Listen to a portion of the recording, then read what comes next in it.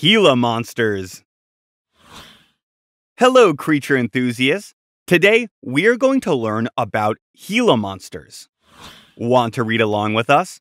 Just head over to learnbright.org and download this lesson. What is a Gila monster? The Gila monster is a type of lizard with very special physical characteristics. Its skin is covered in bead like scales called osteoderms, which help protect it like armor. These scales are usually black with bright pink, orange, or yellow patterns that warn predators that it is dangerous. Gila monsters can grow up to about 2 feet long and have thick, fat tails where they store extra fat to survive when food is scarce. The Gila monster received its name from its primary habitat, the Gila River Basin in Arizona and New Mexico. They live in desert habitats in the southwestern United States and northwestern Mexico, especially in places like Arizona. The monster part of the name is likely due to its venomous nature, and sometimes folklore associating it with danger. The reptiles prefer dry, rocky areas with lots of burrows and cacti where they can hide from the hot sun. Gila monsters are primarily solitary, meaning they like to live alone. However, they do come together during mating season. They are nocturnal and crepuscular, so they are most active at night or during the early morning and late evening when it's cooler.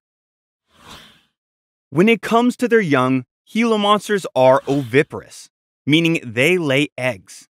The female digs a hole in the ground and lays about 2 to 12 eggs, which she then buries. After that, she leaves and the eggs hatch independently after several months. The baby Gila monsters, called hatchlings, are born fully developed and ready to survive independently without their parents' help. They must find their own food and stay safe. But even as babies, they already have venom to help protect themselves. What do they eat? Gila monsters are carnivores, eating only other animals. Their diet includes bird eggs, small mammals like mice and young rabbits, insects, lizards, and other reptiles. They use their strong sense of olfaction, smell, to locate prey, flicking their long forked tongues to collect scent particles from the air. These particles are analyzed by a special organ in the roof of their mouth called Jacobson's organ, which helps them track down food. Once Gila monsters find their prey, they use a surprise attack. These reptiles are not fast, so they rely on ambush predation, which means they hide and wait for prey to come close. When they bite, their sharp, grooved teeth allow venom from their venom glands to flow into the wound. The venom slows down or incapacitates the prey, making it easier for the reptiles to swallow their meal whole. They don't need to eat often and can go for months without food, because they store fat in their tails. Other interesting facts. One unique fact about Gila monsters is that they are one of the only venomous lizards in the world. While many animals use venom to kill prey, Gila monsters mostly use it for defense. Their venom contains proteins that affect nerves and blood flow, making predators think twice before attacking. Scientists have even studied Gila monster venom to create medicine for people with diabetes.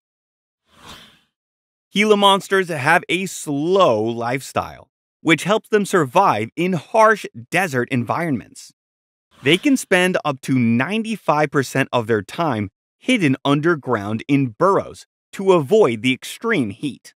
This behavior is called aestivation, which is like hibernation but happens in hot weather.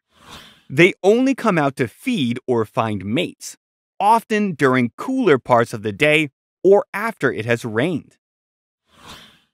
In the wild, a Gila monster can live for more than 20 years.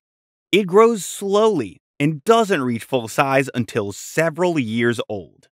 Because of its slow metabolism and ability to store fat in its tail, it has adapted well to survive in environments where food and water are not always available. Why are Gila monsters important to the environment? Gila monsters play an essential role in the ecosystem as predators and prey. By eating small animals and eggs, they help control populations of rodents and insects, which keeps the food web balanced. They are also food for larger predators, including hawks and coyotes. This balance is vital for the health of the desert habitats where they live. Currently, Gila monsters are listed as near threatened in some places, but they are not yet endangered. Their biggest threats are habitat loss due to human development, capture for the illegal pet trade, and death by people who are afraid of them. Many laws now protect Gila monsters, making harming or capturing them illegal. Protecting these unique reptiles helps preserve the desert ecosystem they live in.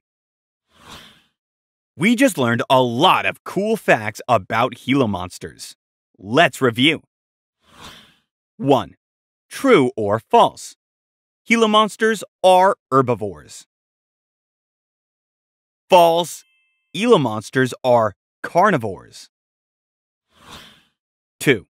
Choose the word or words the author would say best describes the Gila monster. A. Diurnal. B friendly. C. Colorful. D. Sociable. E. Fierce. C. Colorful. 3. How long can a Gila monster grow? They can grow up to around 2 feet long. Nice work, monster magicians!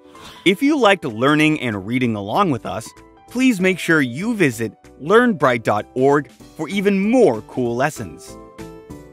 Hope you had fun learning with us. Visit us at learnbright.org for thousands of free resources and turnkey solutions for teachers and homeschoolers.